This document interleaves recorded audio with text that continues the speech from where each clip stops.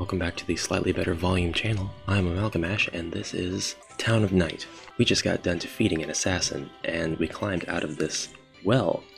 Uh, there was a waterfall down there and a ladder, but I guess the ladder became a rope. Anyways, we're, there is no longer any danger of us dying due to death, so we're going to stay at the inn, which is not going to be that way. And maybe buy some new weaponry. I have to figure out what to do next. I'm actually not sure. Oh, I have a mansion key. That's what I got. So I think that they meant for this one to be unlocked.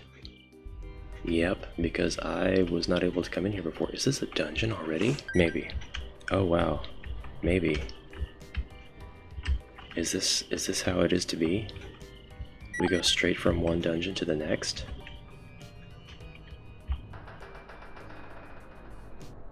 It is. We went straight into the second dungeon. Oh my god. That is interesting. Let's just do some... Okay, so they're, I mean, moderately strong. Ooh, she got acid breath? I'm not actually interested in being here yet. I would like to get a, a little bit more in the way of gear. But I do know that if I really needed to grind for experience, that's a good place to do it now. So, if I wanted to grind, or not grind, if I wanted to purchase better weaponry, oh yeah, the Mon Pa store is right here. We need better armor.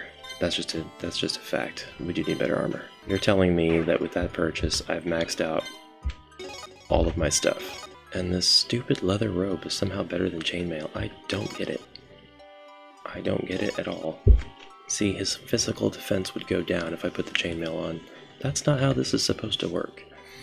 I can tell you that much.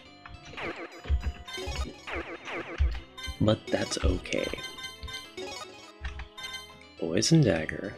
Poison dagger. She shouldn't get the poison dagger. She should get the poison dagger. She can't equip the poison dagger. Oh my god. What kind of archetypes were used for these characters? She should get the poison dagger because she has a She's she's the debuffer. She should get the Sage Rod, which thank goodness she can. She can actually supplement and the leather gloves. Now I'm feeling better about this whole arrangement. I feel pretty good now. Mm, yeah, other than putting the leather gloves on Charlotte Shelby, which I don't really want to do, I feel like there's no more improvements that can be made we will now sell all of our crap. We have a much better party. Not exponentially better, more like a linear better, but that's exactly what we wanted, right? That's what we wanted. That's what we got. Let's go into the Brewski Hall, otherwise known as the Public House, and see if anybody will have any other dialogue. Hmm. I wonder if that will permanently increase any of my attributes.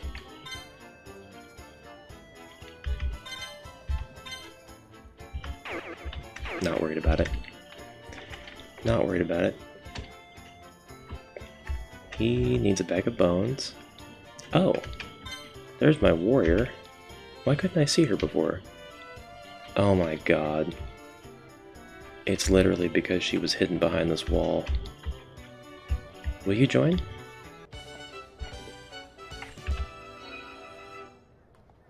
So how does that work?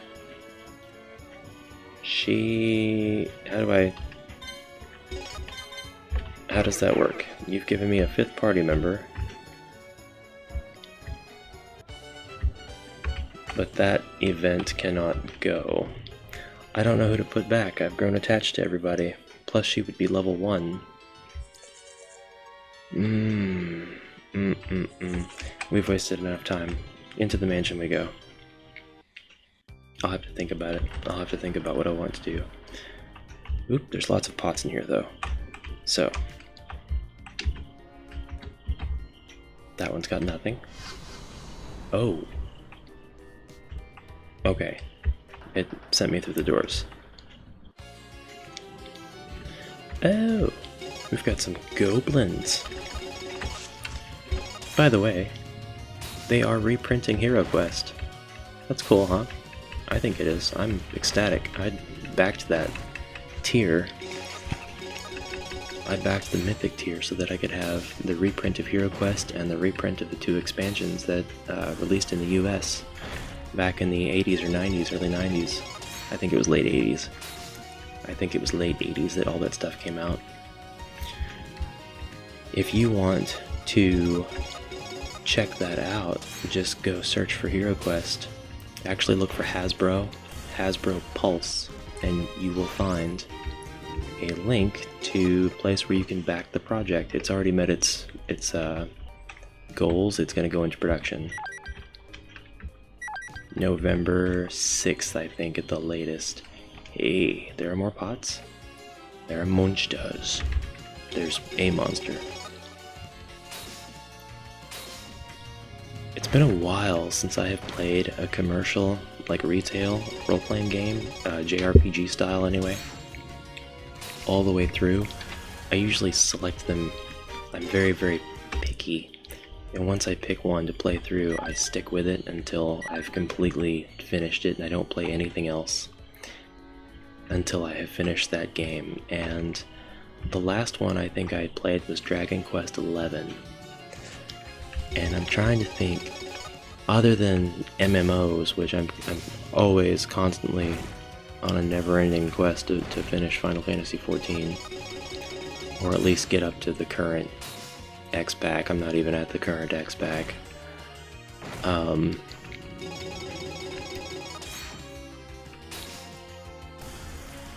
besides that, just checking out a couple of other MMOs and routine. Whoa, whoa, this person's keeping bats in cages. Routinely trying out other MMOs and deciding whether or not they're worth my time. Mm. Do we have assassins and pots here? I don't really. Uh, I don't play them as frequently as I want. Oh, there was actually not an assassin inside that dang treasure chest. Uh, that said, I have a few JRPGs that I want to play. Uh, big, big, sprawling, full-scale, 60-hour ones. Oh, the assassin is now a regular enemy. That's just great.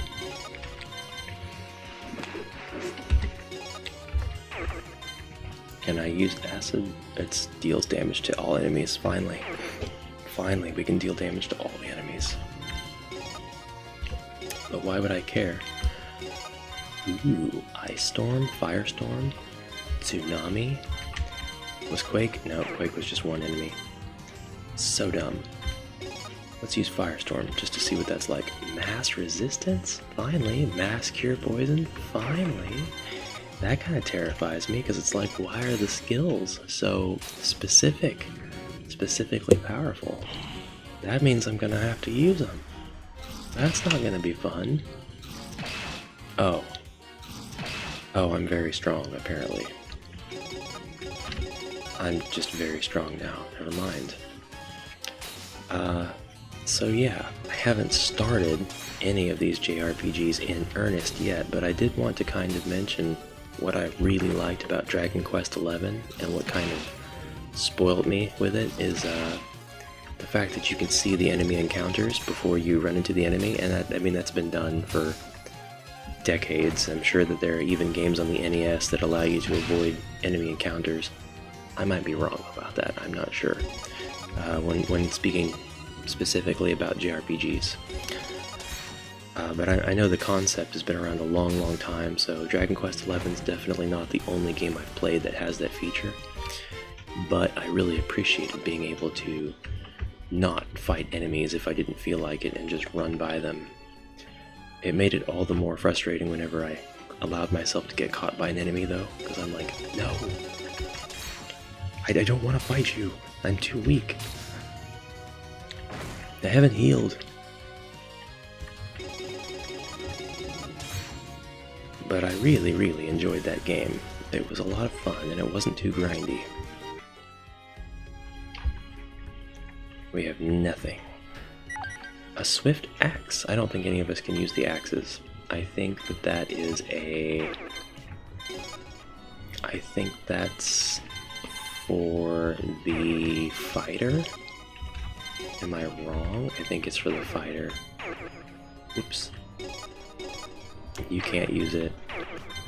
You can't use it. You kind of.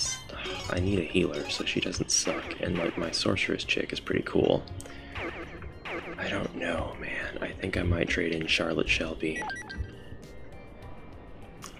And if I didn't check this pot, I'll check it. Okay. Now we're gonna make a break for it. Who put that column in the middle of the room? Ah, the encounter rate for this game is kind of high, but it's not it's not unbearable because it's not too grindy. I just wish that I could avoid the enemies beforehand if I wanted to because I feel like I'm too powerful and I don't want to bother trying to run away from them because I don't want them to get the free attacks in, you know. I will always be a fan of the running away from enemies before they have a chance to fight you because it just doesn't make much sense to me that you can walk around in a dungeon and just randomly bump into an enemy. Nothing in those pots. Let's go. I'm just about. Ooh, oh god. That. There's a big dragon in the cage over there. There's a big dragon in the cage over there. There's lots of chests and things like that.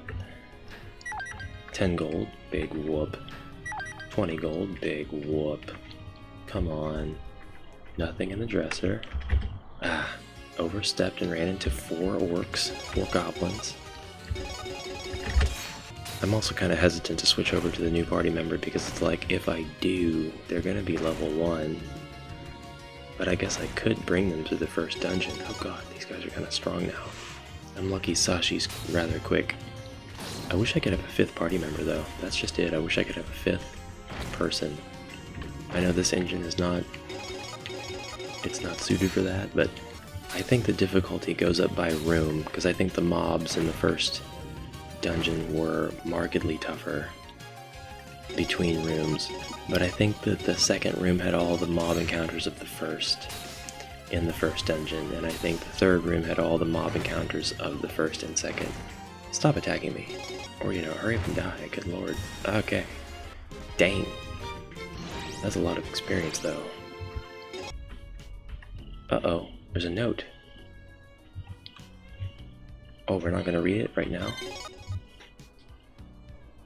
It... Huh? There's something in the dresser. It looks like someone wrote something. Okay. That doesn't help me any.